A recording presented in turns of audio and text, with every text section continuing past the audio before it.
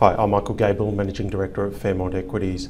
There's been a lot of talk in the media recently about US bond yields climbing higher again and why that would be a bad thing for the economy and the stock market. So, in this quick video, I'm just going to cut through the hype uh, and tell you what it really means.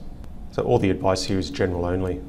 So, this is a 10 year chart of the US 10 year yields in blue and the two year yields in green. So, long term yields always attract more because your money is tied up for a longer period of time.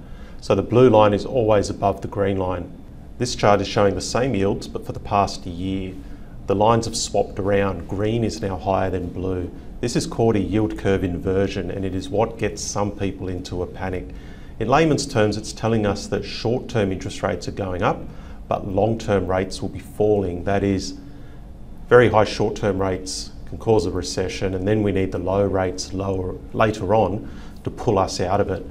So it's been said that yield curve inversions have predicted every recession. I mean, my argument is that the sample size is so small that you can't treat this as gospel, but uh, that's an argument for another day.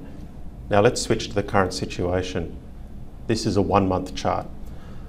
The blue line has been marching higher, and the media have been talking about this a lot recently, and they'll have you believe that this is a bad sign.